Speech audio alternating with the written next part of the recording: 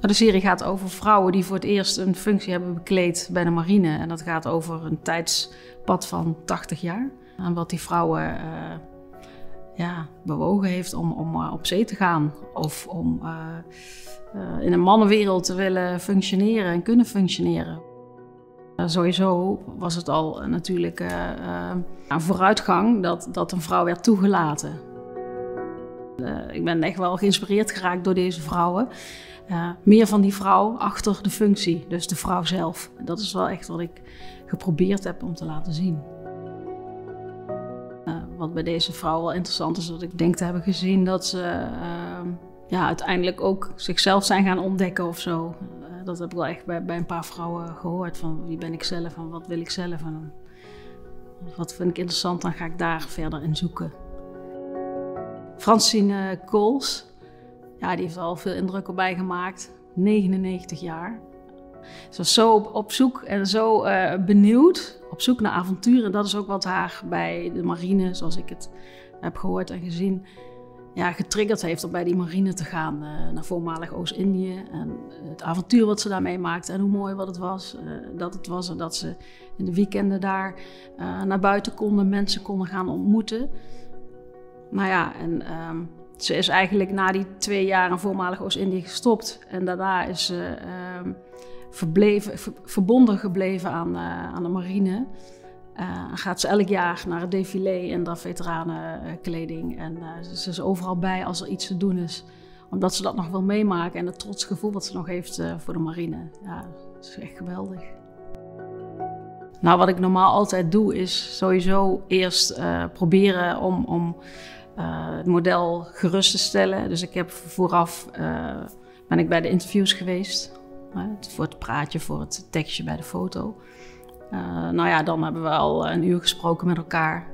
En daarna ga ik alleen met het model aan het werk. En dan, ja, dan, dan komen ook persoonlijke vragen. Dus dan probeer ik wat dichter bij het model te komen. En eigenlijk wacht ik net zo lang tot het model op haar gemak is, zeg maar zodat ze laat zien wat ik wil zien of wat ik bij iemand zie.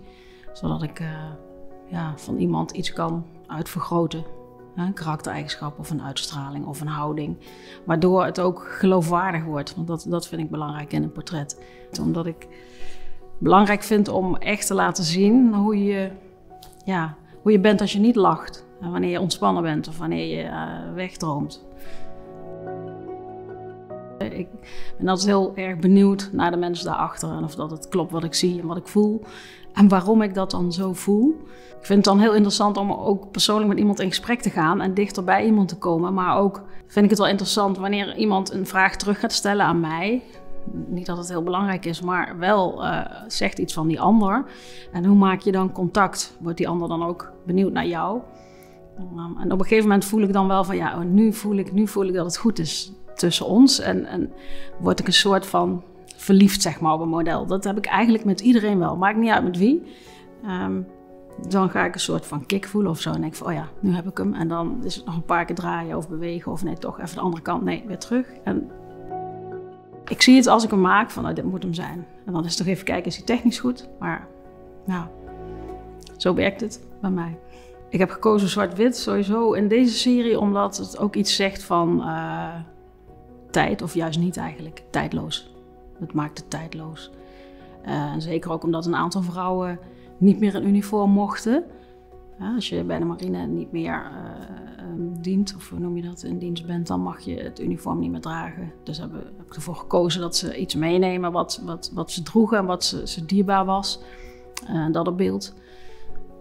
of in beeld gebracht samen met ze, of een soort van laten omhelzen, dat is het eigenlijk. Daar wordt het gewoon tijdloos door en het moest, ging over een, een breed tijdspad. Dus dan, uh, ja, met zwart-wit kan je, vind ik vaak ook meer van het echte karakter laten zien. Meer dan in kleur. Kleur moet echt iets toevoegen aan het beeld. En dat was in dit geval niet.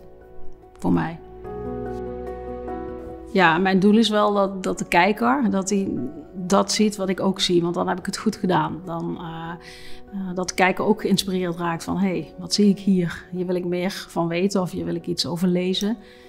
Uh, wat houdt het eigenlijk in? Wat heeft deze mevrouw te vertellen?